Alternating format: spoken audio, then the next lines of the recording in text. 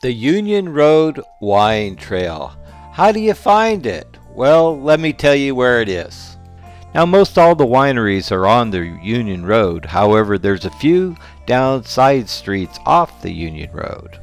If you are on the Interstate 5 and you are headed into Paso Robles, you would get on the 46 going westbound. On the 46, just outside of Paso Robles, you'll see to the left a big yellow house. That's the Tobin James Cellars. You would make a left right there, and that's where Union Road starts. There you'll be able to start your wine tasting and tour of the Union Road. And just up the street just a little bit, you'll find the Rockin' R Winery.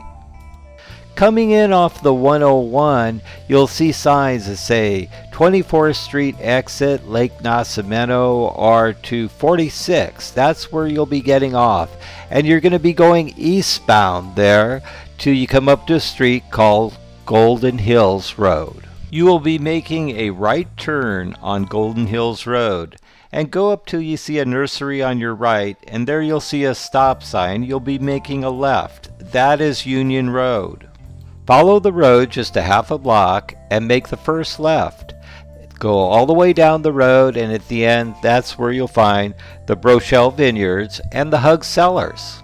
Continuing eastbound down the road, you'll come to a little bend in the road. There you'll veer to the right, and then you'll see a park on your right hand side.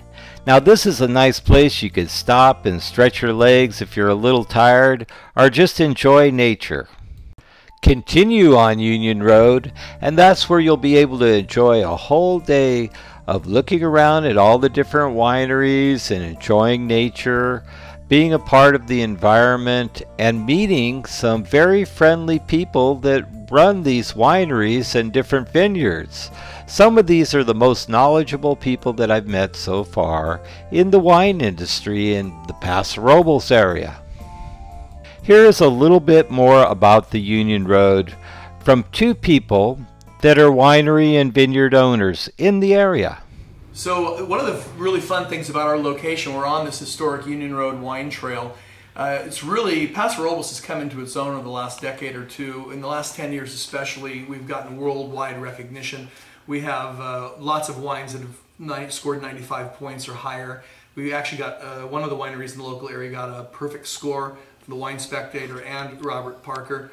Uh, so Paso Robles has now gained worldwide recognition as a high quality wine producing region. Over here on the east side we have this Union Road wine trail with 15 boutique wineries along it. So in just seven miles of road you can see 15 different wineries, taste all those different styles of winemaking. And the nice thing is you'll probably meet the owner and or winemaker at every one of those 15 little wineries. So I'm excited to be part of that Union Road Wine Trail and uh, hopefully you're going to get to meet a lot of the other wineries along the Union Road Wine Trail. That's one of the things we're doing with these videos is trying to give everybody a little taste of what they're going to be able to experience when they stop in at each of these wineries. This Union Road Wine Trail has a tremendous history along with it. Uh, my family story goes that that American flag you see in the distance is the site of the B-26 crash that happened April 11th, 1956. My grandparents watched that plane hit the ground and explode. And as you might imagine, townspeople came out and looked at that wreckage. And as they looked at that wreckage, they'd pull off the side of the very narrow road and they'd get stuck in the mud. So my dad's job as a teenager was to pull those townsfolk out of the mud after they were finished looking at that crash site. This Union Road had been the historic Highway 41 that connected the coast to the Fresno Bakersfield area. This road was literally built two Model A cars widths wide is all. And even in that day, my grandfather was wondering why they built the road so wide.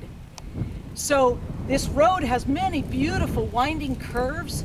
Dad tells the story of trucks crashing on the curve that's just about a half a mile to the west of Steinbeck, where they would go too fast around the corner and the pigs or the cattle would shift or the hay would shift and the truck would crash and dump the load and they had wild pigs, cattle, they had hay all the time on that curve that's Malloy O'Neill as well as Steinbeck.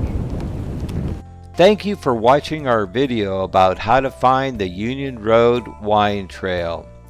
We produce movies that feature these wineries and vineyards and showcase what it is they do best and what they specialize in so that you could get a good idea of what it's all about before you visit them and which wineries and vineyards you'd like to visit the most.